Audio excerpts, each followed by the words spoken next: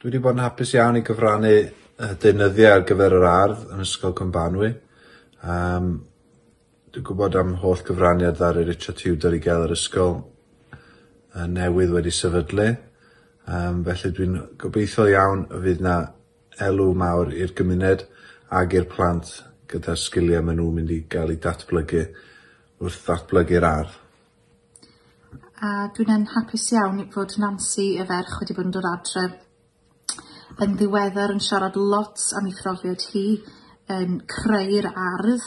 Um, o'n i rioed yn meddwl y byse rhan o'n plant sy'n dod adre o'r ysgol yn dweud bod nhw wedi bod yn cymysgu concret, rhywbeth dwi rioed wedi gwneud, ac yn malu cerig um, a, a rhywbeth e felly. Felly maen nhw wedi bod yn cael profiadau um, beth gofiadwy.